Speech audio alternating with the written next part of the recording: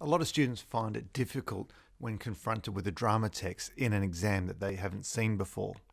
And so if you're watching this video, you'll be a student who has to do a close reading of a drama text in an exam, or you're a student who struggles to find things to say about unseen drama text.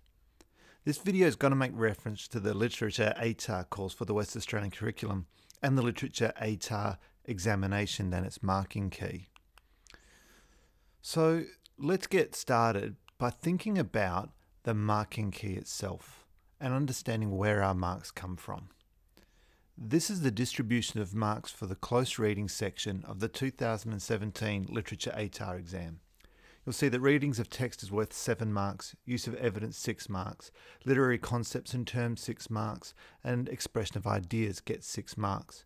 The thing I want to draw your attention to throughout this is the actual reading of text is only worth seven marks, even though it is the central skill. And so, what I want to put to you is that even if your reading is a bit off or not entirely correct, for the lack of a better word, it doesn't. It's not a deal breaker. You can still score really well so long as you advance the reading, and that's actually something a lot of students don't do. They retell the text rather than producing a reading. So let's start with some surface level questions that can help us get to this reading for a drama text that we haven't seen before. And I always encourage students not to dive straight into the detail, but to step back from a text and look at it as a whole. And so start by looking at the action of the scene. What's happening in the scene? Where and when is it happening? And who's involved in the scene? These are really straightforward questions that if you just relax and read the text and start by thinking it there, uh, you could really see your way through it. Then think about genre. Is the play realistic?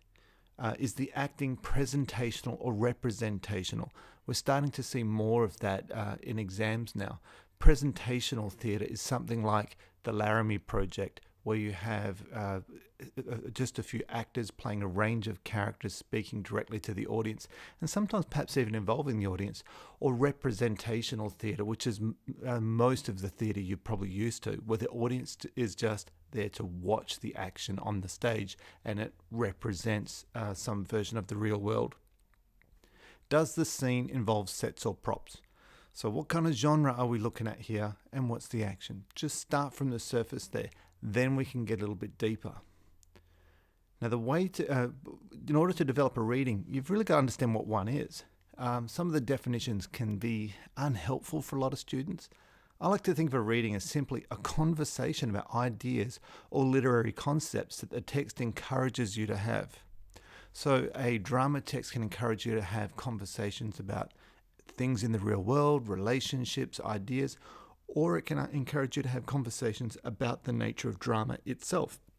And that's what a reading is. What are the conversations that this text wants you to have? And in order to do that, one thing I think is really helpful is to find the tension in the scene that you're looking at. Tension's related to conflict, but they're not the same thing. You can almost use them interchangeably, but there is a difference. Conflict drives action and provides the tension and dramatic techniques will be revealed once you find the tension in a scene. And there is always tension in a scene, whether it's within the character himself or herself, tension between characters, a character trying to achieve some kind of goal or to get to the bottom of some kind of problem. If you can get to that, then you can get to a conversation you can have around the text. So let's start by looking at um, the drama text from the 2017 paper. The text there is very small. You can access that online. Um, and but what I want to do is focus on the strategies here for decoding it. And so if we start with the action from this piece, uh, this extract from Red by John Logan, if we start looking at the action, it's a great painter talks about art and life to a young man.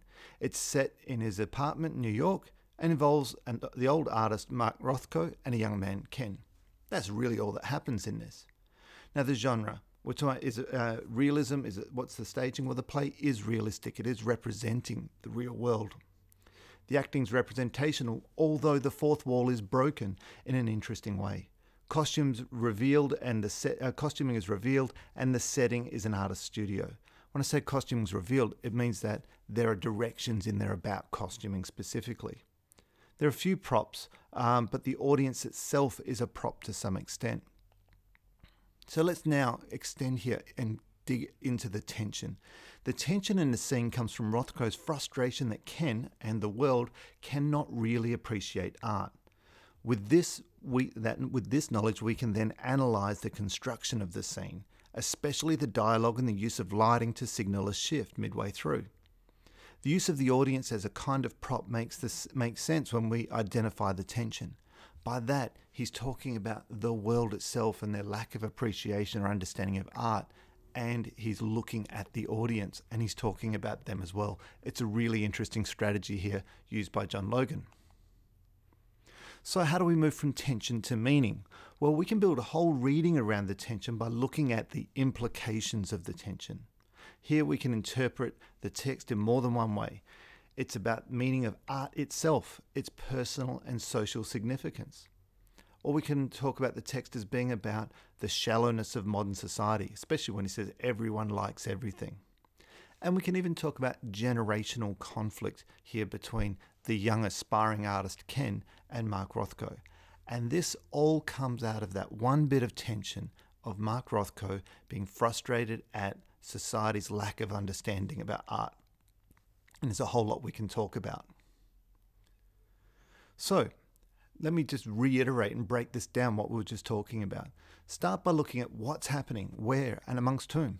What features of genre stand out? What is the tension in the scene? How does the tension relate to ideas? And how is the tension developed through dramatic techniques? Those five things you can produce a reading for just about any dramatic text. And so, by identifying the tension, you can develop an interpretation of the underlying meaning.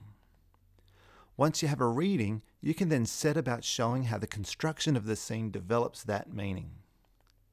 And for revision, the best thing you can do is prepare by ensuring you've got an understanding of key concepts and terms for drama so that you you can go and look at those techniques once you've identified the tension. I hope that simplifies the process of decoding an unseen drama text. Um, I haven't, I didn't go into complete detail on the red piece, but that wasn't the point of this. The point was to give you a strategy that you can do so that time and again you can find your way to a reading and then be able to develop an interpretation.